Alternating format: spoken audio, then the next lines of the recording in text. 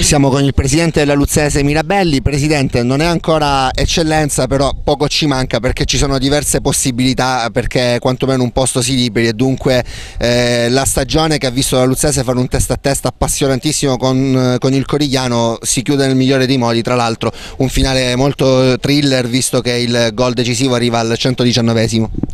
Sì, eh, l'emozione è tanta, diciamo che la partita ha descritto quello che è stato quest'anno il nostro campionato, un campionato dove abbiamo sempre giocato bene, come abbiamo fatto oggi il primo tempo, poi il secondo tempo tanta sofferenza, un ottimo Siderno, gli faccio i miei più grandi complimenti, un'ottima squadra e poi all'ultimo siamo riusciti con Danilo Tucci che come sempre ci dà una mano a risolvere queste partite a centrare questa finalissima sperando adesso che valga l'accesso in eccellenza.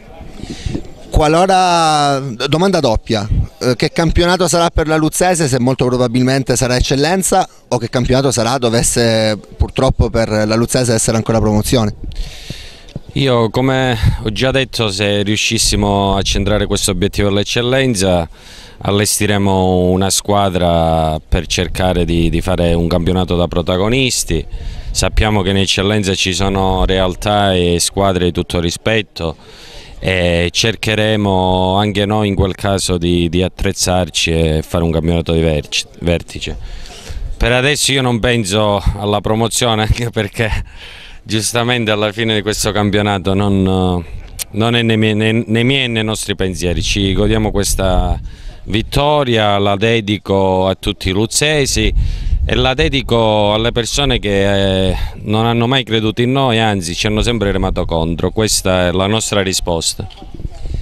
L'ultima domanda, eh, l'emozione più forte è stata vissuta sulla paratissima di Ramunno o sull'incrocio dei pali colpito da Tucci?